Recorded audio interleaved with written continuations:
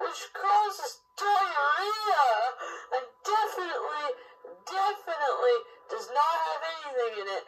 So, no funds. And here is Amazing Bay of Teens.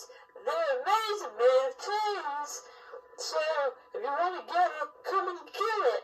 You can have a whole bowl of cheese flakes, and it'll make you go to the bathroom straight away. So, buy it quick or else it'll be sold out. So, I just want to tell you, I'm watching you.